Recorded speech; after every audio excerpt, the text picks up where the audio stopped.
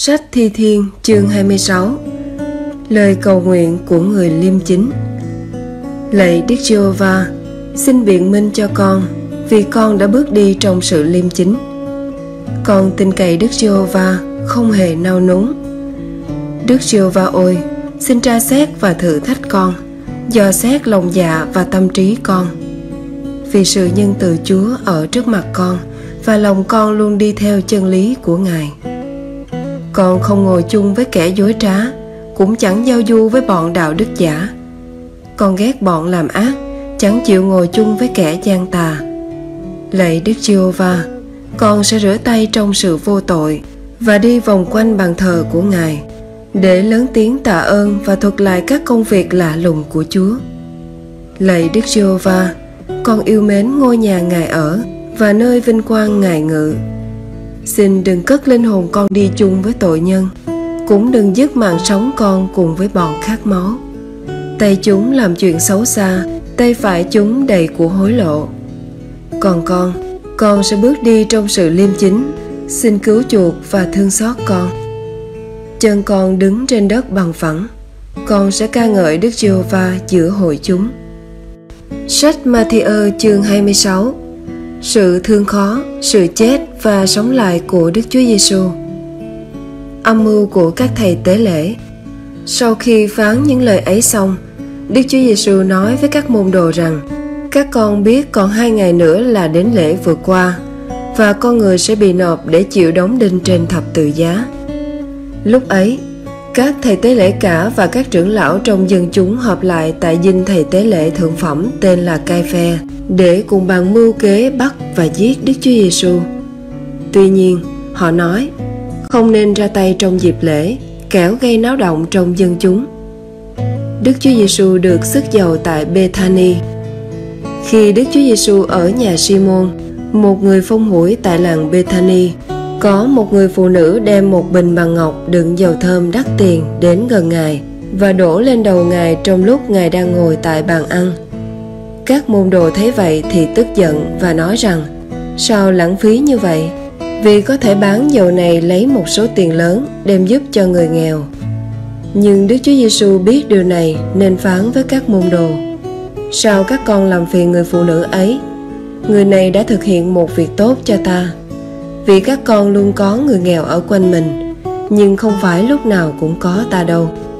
Khi đổ dầu trên thân thể ta người phụ nữ ấy đã chuẩn bị cho việc chôn cất ta.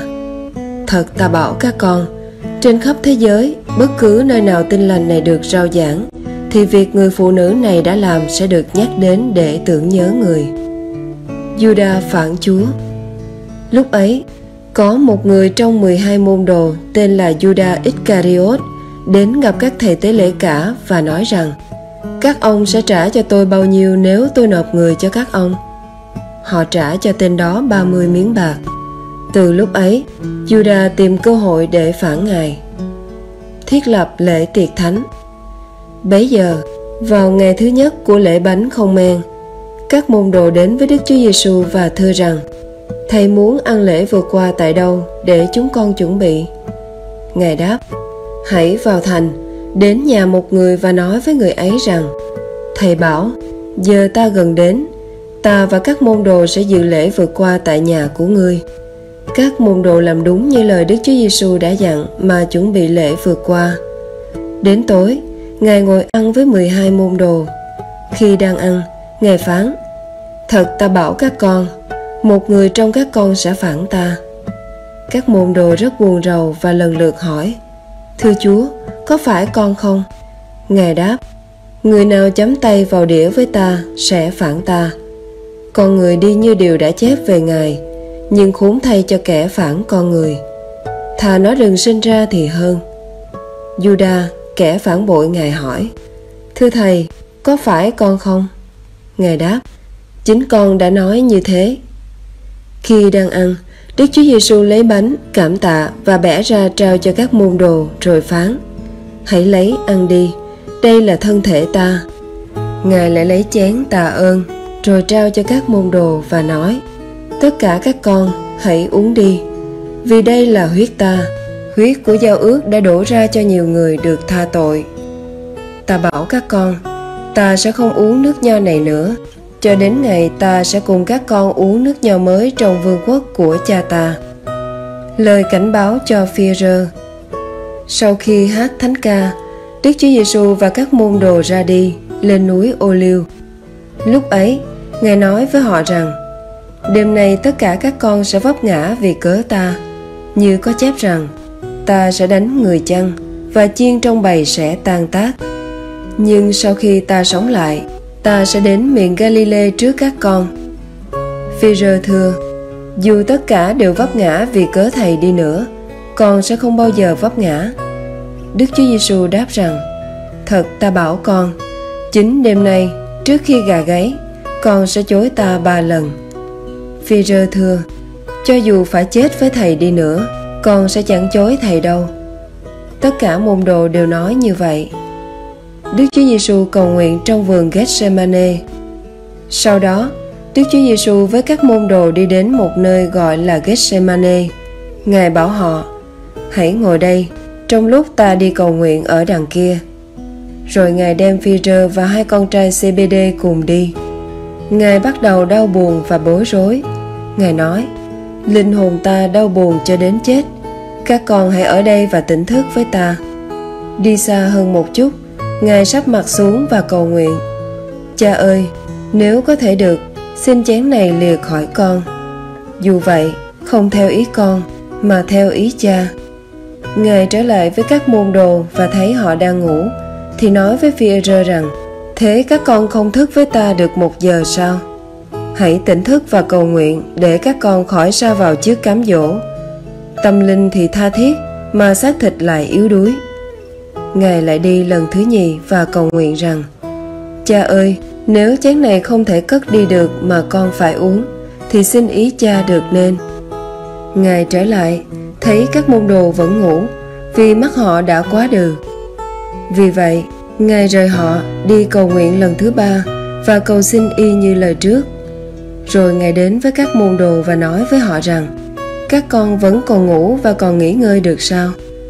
Kìa, Giờ đã đến, con người sắp bị phản nộp vào tay kẻ có tội. Hãy đứng dậy, chúng ta đi nào. Kìa, kẻ phản ta đã đến. Đức Chúa Giêsu bị bắt. Trong lúc Đức Chúa Giêsu còn đang nói, thì Juda, một trong 12 môn đồ đến với một đám đông cầm gươm và gậy, do các thầy tế lễ cả và các trưởng lão của dân chúng sai đến. Bấy giờ, kẻ phản ngài đã cho chúng một dấu hiệu hễ tôi hôn ai thì chính là người ấy, hãy bắt lấy. Juda liền đến gần Đức Chúa Giêsu và nói rằng, chào thầy, rồi hôn ngài. Nhưng Đức Chúa Giêsu nói với nó rằng này bạn bạn định làm gì thì cứ làm đi. Rồi chúng đến, tra tay trên Đức Chúa Giêsu và bắt ngài. Và này, một trong những người ở với Đức Chúa Giêsu vung tay rút gươm ra, đánh và chém đứt tay của đầy tớ thầy tế lệ thượng phẩm. Đức Chúa Giêsu nói với người ấy rằng, Hãy nạp gươm vào vỏ, Vì hễ ai cầm gươm thì sẽ chết bởi gươm Còn tưởng rằng ta không thể xin cha, Và Ngài sẽ lập tức sai đến cho ta hơn 12 quân đoàn thiên sứ hay sao? Nếu thế thì làm sao ứng nghiệm lời Kinh Thánh nói rằng, Việc này phải xảy ra như vậy Ngay lúc ấy, Đức Chúa Giêsu nói với đám đông rằng, Sao các ngươi đem gươm và gậy đến bắt ta như bắt một tên cướp vậy? Hằng ngày ta ngồi dạy dỗ trong đền thờ mà các ngươi không bắt ta. Nhưng điều này xảy ra để lời các nhà tiên tri trong Kinh Thánh được ứng nghiệm. Lúc ấy, tất cả môn đồ đều bỏ Ngài chạy trốn. Đức Chúa Giêsu trước hội đồng công luận. Những kẻ đã bắt Đức Chúa Giêsu dẫn Ngài đến nhà thầy tế lễ thượng phẩm Cai Phe, nơi các thầy thông giáo và các trưởng lão đang hội họp. phi đi theo Ngài xa xa, đến sân của dinh thầy tế lễ thượng phẩm và vào bên trong ngồi với những kẻ canh gác để xem kết cuộc ra sao. Lúc ấy, các thầy tế lễ cả và toàn thể hội đồng tìm chứng dối chống lại Đức Chúa Giêsu để có thể kết án tử hình Ngài. Nhưng họ không tìm được điều gì cả, mặc dù có nhiều kẻ đứng ra làm chứng dối. Cuối cùng, có hai người bước ra tố cáo rằng người này đã nói ta có thể phá đền thờ Đức Chúa Trời rồi dừng lại trong ba ngày. Thầy tế lệ thượng phẩm đứng dậy và nói, Ngươi không đáp lại lời những người này cáo buộc ngươi sao? Nhưng Đức Chúa Giêsu vẫn im lặng. Thầy tế lễ thượng phẩm lại nói với Ngài rằng Ta yêu cầu ngươi chỉ Đức Chúa Trời hằng sống mà thề và nói cho chúng ta biết Ngươi có phải là Đấng Christ con Đức Chúa Trời không?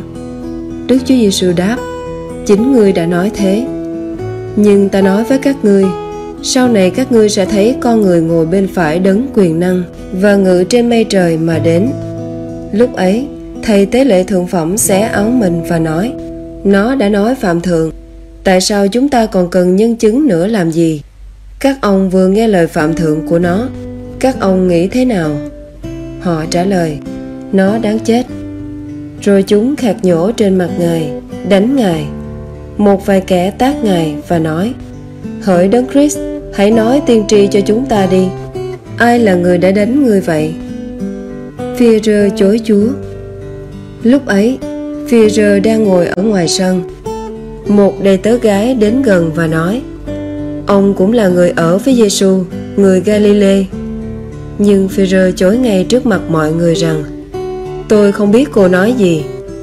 Khi ra hiên cửa, một đầy tớ gái khác thấy phi rơ thì nói với những người đứng gần đó rằng Ông này ở với Giêsu, người Nazareth. Nhưng phi rơ lại chối và thề rằng Tôi không hề biết người ấy. Một lúc sau, những người đứng gần đó nói với phi rơ rằng chắc chắn ông cũng là một người trong bọn họ vì giọng nói của ông đã tố cáo ông. Nhưng phi rơ nguyên rủa mà thề rằng tôi không biết người đó. Ngay lúc ấy, gà gáy. Phi rơ nhớ lại lời Đức Chúa Giêsu đã nói trước khi gà gáy, ngươi sẽ chối ta ba lần. Rồi ông đi ra và khóc lóc đắng cay. Sách các vua nhì chương 15 Asari cai trị Juda Năm thứ 27 đời trị vì của Jeroboam, vua Israel, thì Asari, con trai Amasir, vua Juda, bắt đầu trị vì. Khi lên ngai, vua được 16 tuổi và cai trị 52 năm tại Jerusalem. Mẹ vua là Jeculia, quê ở Jerusalem. Vua làm điều ngay thẳng dưới mắt Đức Giê-hô-va, đúng như những gì mà vua cha là Amasi đã làm.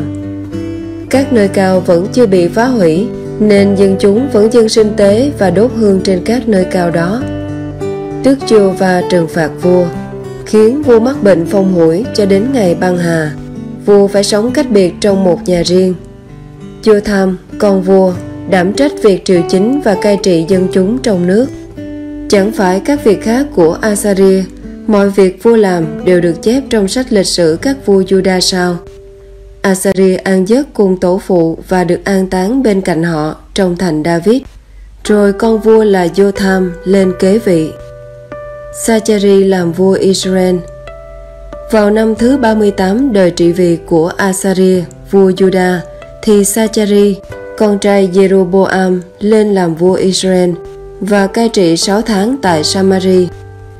Vua làm điều ác dưới mắt Đức Giê-hô-va giống như các tổ phụ mình đã làm. Vua không từ bỏ một tội lỗi nào của Jeroboam, con trai Nebat, là tội đã gây cho Israel phạm tội. Salom, con Gia-be, âm mưu chống lại vua.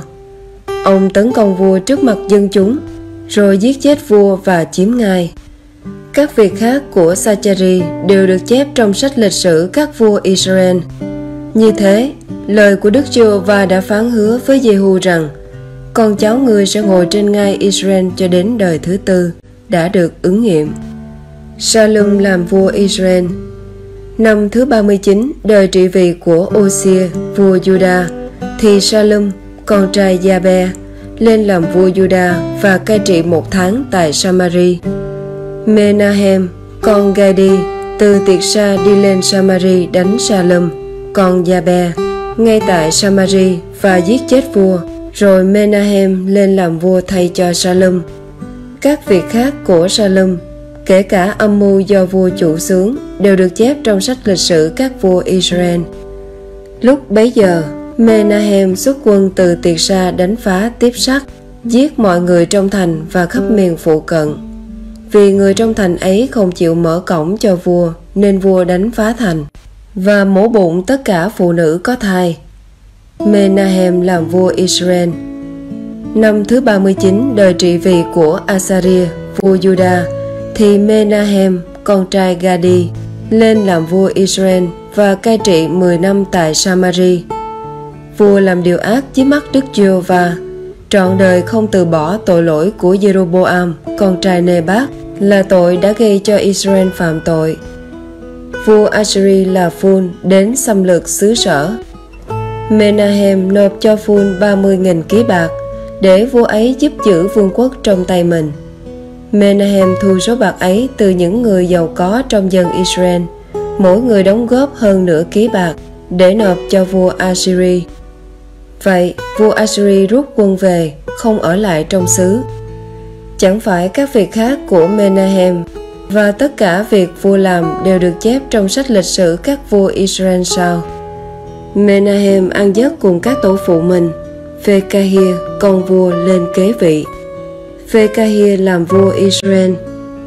Năm thứ 50 đời trị vì của Asaria, vua Judah, thì Phekahia, con của Menahem, lên làm vua Israel tại Samari và cai trị hai năm. Vua làm điều ác dưới mắt Đức Giê-hô-va, không từ bỏ tội lỗi của Jeroboam, con trai Nebat, là tội đã gây cho Israel phạm tội. Một tướng chỉ huy quân đội Phê-ca, con Remalia, âm mưu chống lại vua và đánh giết vua tại Samari trong pháo đài của hoàng cung, giết luôn Agob và Arie. Phê-ca đem theo 50 người Galaad, ông giết phekahia và chiếm ngai vua.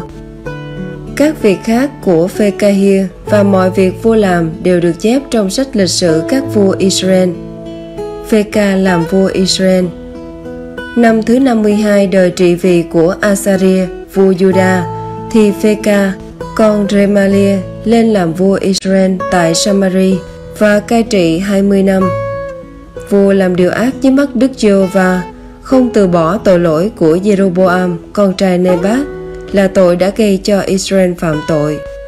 Trong đời trị vì của Phê-ca, vua Israel, tiếc là Philese, vua Assyri, đến xâm chiếm Ijon, Aben Bet Maka, Gianoak, Kede, Haksor, miền Galaad, miền Galilee và địa phận Nephtali.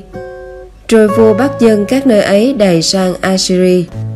Lúc ấy, con của Ela là Ose âm mưu chống lại vua Pheka, con Remalia, và đánh giết vua, rồi chiếm ngai vua nhằm năm thứ 20 đời trị vì của Jotham, con Osia. Các việc khác của Pheka và mọi việc vua làm đều được chép trong sách lịch sử các vua Israel. Jotham làm vua Judah. Năm thứ hai đời trị vì của Pheka, con Remalia, vua Israel, thì Jotham, con Osia, vua Juda, lên ngai làm vua. Khi bắt đầu trị vì, Jotham được 25 tuổi và cai trị 16 năm tại Jerusalem. Mẹ vua tên là Jerusa, con gái Sa đốc. Vua làm điều ngay thẳng dưới mắt Đức Giê-hô-va, noi theo mọi điều vua cha là Osia đã làm. Nhưng các nơi cao vẫn chưa bị phá hủy, dân chúng vẫn còn dân sinh tế và đốt hương trên các nơi cao đó. Jotham đã xây cất cổng trên của đền thờ Đức Chiêu Va. Chẳng phải các việc khác của Jotham và những việc vua đã làm đều được chép trong sách lịch sử các vua Juda sao? Vào thời ấy, Đức Giê-hô-va bắt đầu khiến Rezin, vua Aram và Phê-ca, con Remalia đến đánh Juda. Jotham ăn giấc cùng các tổ phụ và được an táng bên cạnh họ tại thành David, tổ phụ vua. Thái tử Acha lên ngai kế vị. Sách các vua nhì, chương 16 Acha làm vua Juda Năm thứ 17 đời trị vì của vua Pheka, con Remalia, thì Acha, con Jotham, vua Juda, lên làm vua. Khi bắt đầu trị vì, thì Acha được 20 tuổi và cai trị 6 năm tại Jerusalem. Vua không làm điều ngay thẳng dưới mắt Diêu và Đức Chúa Trời mình như tổ phụ vua là David đã làm. Nhưng vua đi theo đường lối của các vua Israel, thậm chí đưa con mình vào lửa để tế thần theo thói tục ghê tởm của các dân tộc mà Đức giê va đã đuổi khỏi dân Israel. Vua cũng dân sinh tế và đốt hương trên các nơi cao, trên các ngọn đồi và dưới tất cả cây xanh. Bấy giờ, Rezin, vua Aram và Pheka con Remalia vua Israel, kéo quân lên Jerusalem để gây chiến. Họ bao vây Acha nhưng không đánh thắng vua được. Vào lúc đó, vua Aram là Rezin khôi phục Elat về cho nước Aram. Vua đuổi dân Juda khỏi Elat và dân Edom đến Elat ở đó cho đến ngày nay. Acha sai sứ giả đến nói với vua Assyri là Tiết La Phileshe, Tôi là đầy tớ và là con của ngài. Xin ngài đến giải cứu tôi khỏi vua Aram và vua Israel vì họ đang tấn công tôi. Acha lấy bạc vàng trong đền thờ Đức giê va và trong các kho tàng của hoàng cung gửi làm lễ vật cho vua Assyri. Vua Assyri nhận lời yêu cầu của Acha, kéo quân lên đánh thành Damas, bắt dân chúng trong thành đầy sang Kira và giết Rezin. Khi vua Acha đến Damas để gặp vua Assyri là Tikla Philese thì vua thấy một bàn thờ ở Damas. Vua Acha liền gửi cho thầy tế lễ Uri kiểu mẫu và mô hình bàn thờ ấy với tất cả chi tiết chỉ dẫn cách làm bàn thờ thầy tế lễ Uri lập một bàn thờ đúng theo kiểu mẫu mà vua Acha đã gửi từ Damas về. Thầy tế lễ Uri làm xong bàn thờ ấy trước khi vua Acha trở về. Khi từ Damas trở về, vua đến xem bàn thờ rồi lại gần và dân tế lễ trên đó. Vua dân tế lễ thiêu, tế lễ chay, làm lễ quán và huyết của tế lễ bình an trên bàn thờ. Vua cho dời bàn thờ bằng đồng trước mặt Đức Giê-hô-va vốn ở phía trước đền thờ, giữa bàn thờ mới và đền thờ Đức Giê-hô-va, mà đặt nó ở phía bắc của bàn thờ mới. Rồi vua Acha truyền lệnh cho thầy tế lễ Uri rằng, trên bàn thờ lớn, hãy dâng tế lễ thiêu buổi sáng và tế lễ chay buổi chiều. Tế lễ thiêu và tế lễ chay của vua, tế lễ thiêu và tế lễ chay của toàn dân trong xứ cùng với lễ quán, và rải huyết sinh tế của tế lễ thiêu, luôn cả huyết của các sinh tế khác trên bàn thờ này. Còn bàn thờ bằng đồng, ta sẽ dùng để cầu hỏi ý Chúa. Thầy tế lễ Uri làm đúng theo mọi điều vua Acha đã truyền. Sau đó, vua Acha cho gỡ bỏ các tấm trám của những cái đế và dẹp tất cả những bồn nước đặt ở trên. Vua cho hạ bể nước kê trên những con bò bằng đồng xuống rồi đem đặt nó trên một nền đá. Để được lòng vua Assyri, vua thay đổi vị trí trong đền thờ của Đức giê va bằng cách gỡ bỏ vòm che nắng trong ngày sa bát đã được xây dựng trong đền thờ và dẹp bỏ lối vào dành cho vua ở bên ngoài. Chẳng phải các việc khác của Acha và những việc vua đã làm đều được chép trong sách lịch sử các vua Juda sao?